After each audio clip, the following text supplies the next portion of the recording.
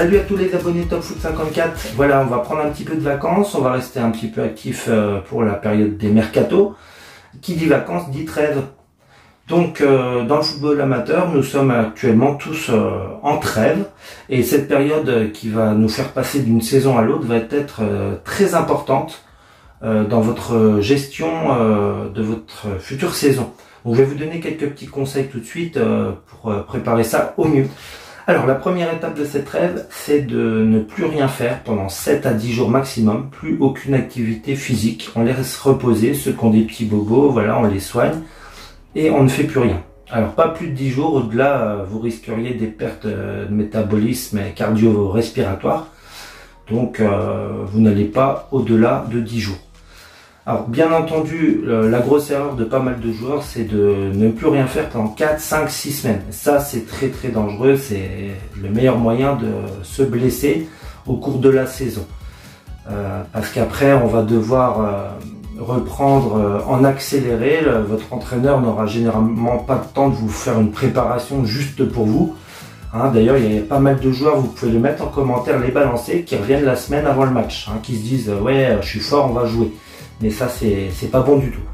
Voilà, donc la deuxième étape, vous allez faire un petit peu d'activité euh, sportive, mais autre que le foot.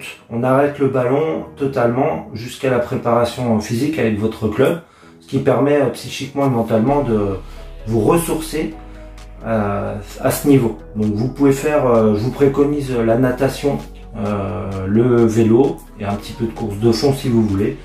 Après, si vous voulez faire un petit peu de volet à la plage pour les chanceux qui partiront, euh, voilà, il n'y a pas de souci. Profitez de cette période de trêve pour euh, améliorer tout ce qui est défaut. Si vous, êtes, euh, vous avez des défauts au niveau de votre souplesse, n'hésitez pas à faire des étirements à froid tous les jours. une période de 12 secondes, 6 fois par jour, vous verrez la différence au bout de 3-4 semaines.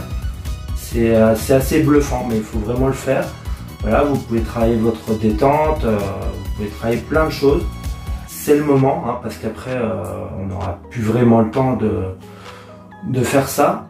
Euh, voilà, donc je vous conseille de rester quand même actif jusqu'à votre préparation physique avec votre club, c'est très important. C'est très important, ça va vous permettre de pas ou de moins vous blesser jusque décembre Hein, c'est à partir de là, ce jour-là, où il y a quelques jours où vous étiez en, vacances avec votre club, ça va vraiment euh, gérer tout votre, euh, votre corps jusqu'en décembre, parce que c'est long, hein, il y a plein de matchs, il y a la, coupe, il y a les entraînements. Et pour pas se blesser, euh, ça commence par là, cette période de repos, cette période de semi-activité que je pourrais appeler l'étape de micro-régénération. Voilà, et euh, ensuite euh, vous pourrez euh, aller avec votre entraîneur à votre reprise qui se situe entre le 15 et le 1er août selon les clubs.